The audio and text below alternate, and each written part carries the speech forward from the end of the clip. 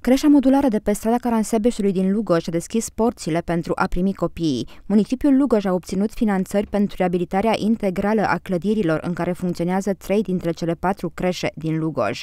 Acestea sunt localizate pe Alea Brazilor, Ceahlăului și Buziașului.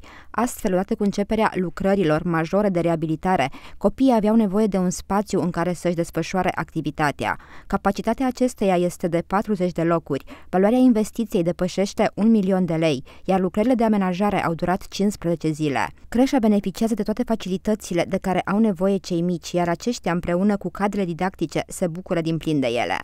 Roțile de autobuz se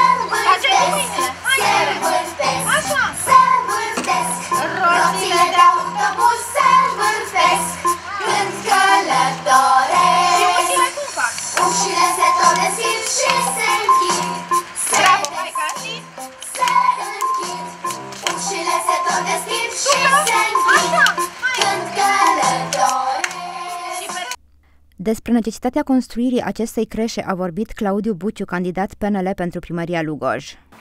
Astăzi am avut bucuria deosebită de a deschide creșa modulară. Este o creșă nouă pe care am construit-o pe strada Caransebeșului.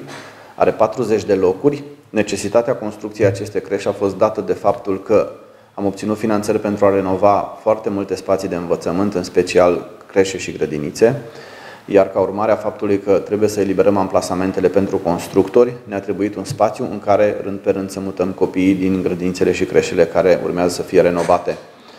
Lucrările au fost recepționate în urmă cu două săptămâni, între timp ea a fost mobilată integral, a fost dotată, s-a mutat personalul și de astăzi copiii au început să frecventeze această creșă nouă. În amenajarea creșei modulare au fost folosite echipamente de cea mai bună calitate, în ceea ce privește iluminatul, climatizarea, dar a fost asigurat și un sistem bine pus la punct, digitalizat pentru desfășurarea activității în bune condiții.